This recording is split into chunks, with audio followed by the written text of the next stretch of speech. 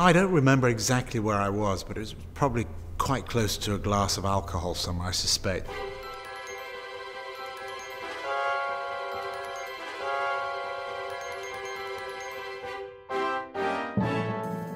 It was about 2005 that um, I toyed with the idea of doing it, and I spoke to my uh, great friend Philip Feeney, who's the composer of the piece. I said, "Hey, Philip, what do you think? Do you think we could do something that wouldn't be typical and slightly trite?" And he said, "Yeah." So the, the project began to really develop from there. I get very involved and I start sort of thinking I'm a composer and I start making wild suggestions. And every now and then Philip is so generous, he'll say, That's a great idea, I'll do that.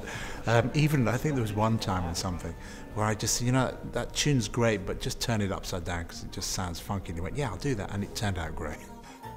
So that was a, a good year of music composition. And then likewise with the designers, the scenery designers, costume designers, it's sharing the script, it's talking about what's going on in my mind. We talk and talk and talk and talk. And what about what if and will this work and and so on and so forth. He does all the scenic designs and they all look beautiful and I love them and he loves them and they look great.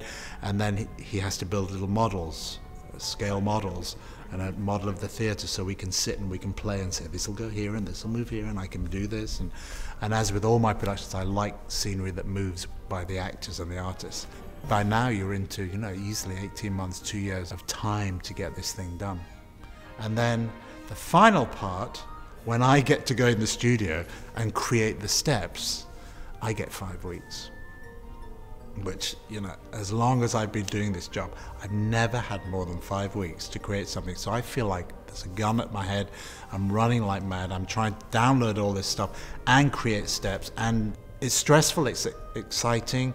The company was fabulous. They were so into it. There was, they were just working. What about I can do this? Something. So everybody's involved, and that's really exciting. One of the main things that I really wanted to try and establish in doing this production was the sense of a little bit more of the story, and I wanted to really think about why was Peter, why is Peter the way he is? What is he looking for? What is it? What is going on in Peter's life?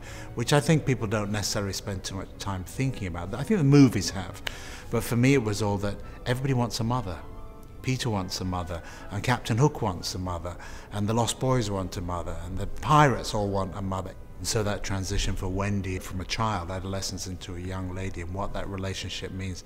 So that was a very important part of what the production was about. And the idea again that the closeness of Peter Pan and Hook is never really explored enough, but I think they're, they're virtually one and the same. How, what would it take for Peter to become Hook?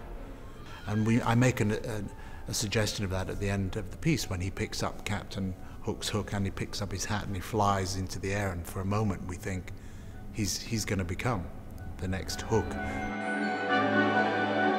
Once you gain power, do you, do you use it well, fairly, justly, or do you abuse it?